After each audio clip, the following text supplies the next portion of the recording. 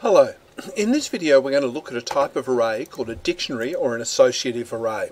So uh, we know in a one-dimensional array that we just type for instance um, name, well actually just in a normal variable, let's say name equals um, mark. So there we go, no great surprises there. So that is how just a normal variable works. If we were doing a one-dimensional array we might say that our names by the way, the fact that I've used an S there is immaterial. It's the square brackets there. So I might say that my name, well, my names were Mark, um, and the next one's just going to be Rad. So that is a one-dimensional array. So here is how the associative array works.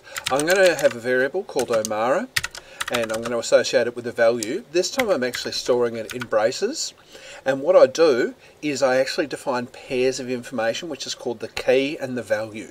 So I might say that first is mark. Then the second value is second. By the way, the fact that I'm calling these first and second is not their place in the array. It's just going to be my second name.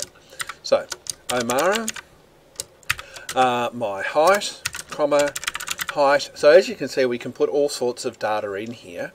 Uh, height, semicolon, I think it's 178 centimetres, could be wrong. Uh, 178 centimetres. Um, my age, comma, age, uh, colon 53, so on and so forth.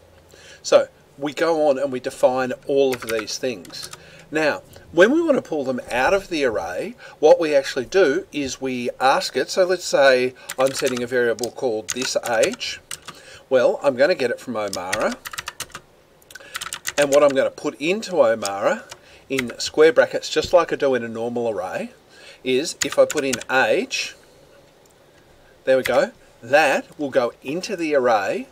It will look for the key of age and it will give me back the value.